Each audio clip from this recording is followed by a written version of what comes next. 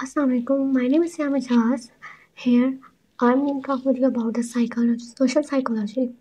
तो सबसे पहले सोशल साइकोलॉजी क्या होता है साइकोलॉजी हम पढ़े हैं, लेकिन हमारा, हमने इसके साथ पढ़ना है सोशल सोशल क्या होता है हमारा जितने भी फैमिली फ्रेंड्स और हमारे नेबर्स होते हैं, ये सारे हमारे सोशल के अंदर काउंट होते हैं हमारा हम जैसे कहते हैं कि भाई हम हम तो बहुत ज़्यादा सोशल है तो सोशल इज़ जस्ट लाइक जितने भी आपके इर्द गिर्द लोग हैं डेट इज़ सोशल और हमने इस चीज़ को साइकोलॉजी के साथ ज्वाइन करके पढ़ना है, ठीक है? तो व्हाट इज़ सोशल साइकोलॉजी तो सोशल साइकोलॉजी क्या होती है? डेफिनेशन पढ़ेंगे हम। Social psychology is a branch of psychology that studies the psychological process of individuals in society social psychology है, वो एक ब्रांच है साइकोलॉजी की। जिसमें हम लोग फिज़ोलॉजिकल प्रोसेसेस पढ़ते हैं अपने सोसाइटी के अंदर एक इंडिविजुअल की। किसी भी इंडिविजुअल का जो भी साइकोलॉजिकल प्रोसेस हो रहा होता है, उसको हम लोग डिस्कस करते हैं। सोशल साइकोलॉजी के अंदर जो है, हम लोग किसी भी शख्स के सोशल और कोऑपरेटिव प्रोसेस को देखते हैं, कैसे वो अफेक्ट करता है और उसको रिलेट करते हैं दूसरों के साथ। उसके एक एग्ज़ाम्पल देखेंगे आ social compare overall aggression level in different groups Whereas a social psychologist compares aggression level in individual members of the group. एक तो सोशियोलॉजिस्ट होता है ना, वो अग्रेशन लेवल देखते हैं डिफरेंट ग्रुप्स का। डिफरेंट ग्रुप्स का कितना अग्रेशन है? बट जो सोशल साइकोलॉजिस्ट होता है ना, वो अग्रेशन लेवल का मेंबर्स इंडिविजुअल मेंबर्स के अंदर देखता है। कि इंडिविजुअल मेंबर्स के अंदर कितना अग्रेशन है? उसके बाद हम इसकी डिफरेंट डेफिनेशंस को डिस्कस करेंगे। सबसे पहले आता है Robert S Feldman the scientific study of how people thought feeling and actions are affected by others इसमें कि हमने ये स्टडी है कि जिसमें किसी भी शख्स के जो थॉट्स हैं फीलिंग्स और एक्शन है ना, वो किस तरीके से अफेक्ट करती है। इट्स जस्ट लाइक दैट कि अगर आप लोग अपने एग्ज़ाम्पल दो बिकॉज़ साइकोलॉजी के अंदर आप तब बहुत अच्छे तरीके से कोई भी चीज़ समझ सकते हो, जब आप उसको थोड़ा सा अपने ऊपर इम्प्लीमेंट करके देखो। अब आप अपने ऊपर एक एग्जांपल आओ यहाँ पे कि हमारे कोई भी फीलिंग्स और एक्शंस हैं। हम एक ही तरह का हमारे ऊपर काम हो रहा है। अगर सपोज़ अगर हमें, हमारे ममा मारती हैं तो हमारा एक्शन क्या होगा? और अगर हमारे फ्रेंड्स मारते हैं तो हमारा एक्शन चेंज होगा। बट इसी में अगर हमारे अफेक्टेड बाय अदर्स किसी और की वजह से हमारे जो है, ये फीलिंग्स और इमोशंस जो है ना, वो चेंज हो जाते हैं।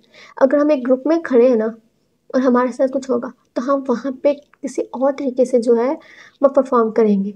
लेकिन अगर हम लोग स्कूल में खड़े हैं टीचर्स के सामने खड़े हैं तो हम लोग जो है, वो किसी और तरीके से उस चीज़ के ऊपर रिएक्ट करेंगे। It is depend upon others किस तरीके से कौन किस वक्त जो खड़ा है ना, उसकी वजह से हमारे जो भी फीलिंग्स हैं, हमारे एक्शंस हैं ना, वो चेंज हो जाते हैं। देन आता है आलपोर्ट आलपोर्ट क्या है? आलपोर्ट क्या कहते हैं? Is the study of the interaction of human beings, especially in social groups and situations, and highlight the influence of social situations on human behavior. इसमें हमने इंट्रैक्शन देखना होता है ह्यूमन बींग्स का इन सोशल ग्रुप और situations में। किसी भी एक सोशल ग्रुप के अंदर और या किसी भी सिचुएशन के अंदर जो ह्यूमन बींग है वो कैसे इंट्रैक्ट करता है और कैसे उसका जो बिहेवियर है वो इन्फ्लुएंस करता है। उसके बाद हम हिस्ट्री पढ़ेंगे हिस्ट्री ऑफ़ सोशल साइकोलॉजी किसी भी हर एक चीज़ की हिस्ट्री होती है। ठीक है ना? और सोशल साइकोलॉजी की भी एक हिस्ट्री है, जिसमें डिवाइन जो है, वो फादर हैं हमारे सोशल साइकोलॉजी के। ठीक है? और इसके अलावा जो जर्मन डिटेक्टर अडोल्फ हिटलर है ना, could have produced such extreme obedience and unbearable behavior in his during World War II कि जो जर्मन डिटेक्टर थे अडोल्फ हिटलर उन्होंने उन्होंने देखा था उस वर्ल्ड वॉर टू के दौरान कि बहुत ज़्यादा उनके जो फॉलोअर्स थे ना, उनके अंदर ओबीडियंस थी। एक बहुत ज़्यादा ओबीडियंस थी क्योंकि अगर देखा जाए तो हिटलर ने कितना का काम किया था ये सब जानते। हैं तो जो उसके फॉलोअर्स थे वो बहुत ज़्यादा ओबीडियंस थे। तो ये सोशल साइकोलॉजी के बेस में हमें पता चलता है। जो स्टडी ऑफ़ कन्फॉर्मिटी है, वो कंडक्ट की थी मुजफ्फर शरीफ एंड सोलमान ऐश ने। कन्फॉर्मिटी क्या होता है? People to work with pressure conformity means people don't work with pressure हम कन्फॉर्मिटी का पूरा एक इसके ऊपर वीडियो भी बनाएँगे in Philip Zimbardo in his well known study prison study in nineteen seventy three found that the interaction of male college students who were recruited to play the role of guard in prisons in a prison become so violent the study to be terminated Philip Zimbardo ने एक study की थी जिसको नाम दिया जाता है prison study का 1973 में, जिसमें इंटरेक्ट हुआ था मेल कॉलेज स्टूडेंट्स का, जिसमें उन्होंने एक प्ले अदा करना था। और हम लोगों ने उनको जो है ऑब्ज़र्व करना था, जिसमें गार्ड और पर्सनस का रोल था। लेकिन इस स्टडी को टर्मिनेट कर दिया गया था। क्यों? क्योंकि जो गार्ड्स थे वो बहुत ज़्यादा वायलेंट हो गए थे प्रिजनस के ऊपर। और इस स्टडी को हम प्रिजन स्टडी कहते हैं। देन आता है John Darley and B Latane develop a model that have to explain when people do and do not have other in need John Darley और बी ब्लटाने ने एक मॉडल दिया था डेवलप किया था, जिसमें बताते हैं कि लोग कब और कब नहीं दूसरों की मदद करते हैं जब उन्हें ज़रूरत होती है मदद की। देन आता है लियोनार्ड बर्कॉट्स इसने स्टडी किया था ह्यूमन एग्रेशन को। Irving Janis focused on group behaviour Irving ने ग्रुप बिहेवियर के ऊपर फोकस किया था। Social psychologist continue to seek new ways to measure and understand social behaviour जो सोशल साइकोलॉजिस्ट हैं, उन लोगों ने सोशल बिहेवियर के ऊपर मेजरमेंट्स करना शुरू कर दी हुई हैं। और इन आगे आगे और बहुत से रिसर्च वर्क सोशल साइकोलॉजिस्ट कर रहे हैं।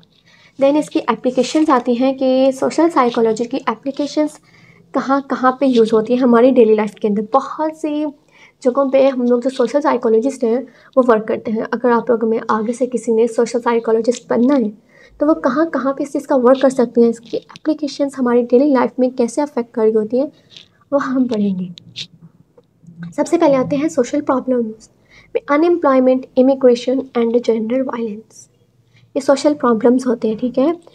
जो हमारे सोशल साइकोलॉजिस्ट ने जो है वो एनालाइज किए थे कि जितनी भी अनएम्प्लॉयमेंट इमिग्रेशन और जेंडर वायलेंस जो है ये सोशल प्रॉब्लम्स हैं और इनको हमें इन कॉन्फ्लिक्ट जो है वो रिजॉल्व करना चाहिए।